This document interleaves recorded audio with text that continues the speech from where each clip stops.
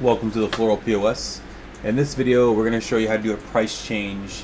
This time you're going to be the sending shop, the shop that actually sent out the, the wire out. So now you have all the authority to approve the actual price change. So if you look down below here, you, you have received an, uh, an order message. And really that's all it is. It says BloomNet inquiry message received. You don't know what's inside of it until you actually click action to look inside. So let's go ahead and click action and see what it's all about.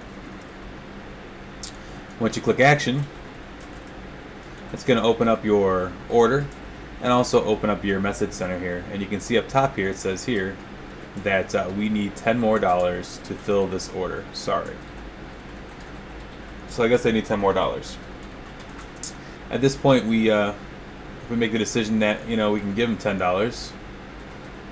Um, and it's up to you. You're gonna either call the the customer and get ten dollars more from them or whatever. But however you do it, um, you're uh, inside of here. You're actually gonna click on the reply button here, and you're gonna check mark price change.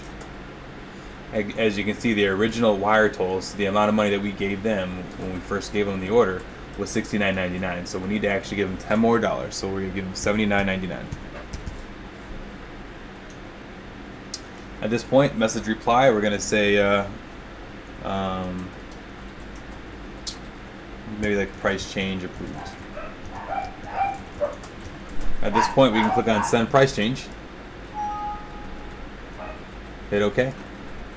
And the system automatically has adjusted your your wire total for you. So if we go back into this order, you're going to notice it says payment needed. It automatically moved your subtotal to $69.99 and it has readjusted everything for you so now that you know what the grand total is so now you can actually talk to your um, customer and give them the, what the adjusted balance is that you need.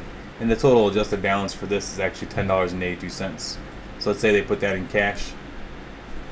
At this point you can click on accept payment and you're pretty much all done with this order. And that's basically how you do a price change as a sending shop inside the Floral POS.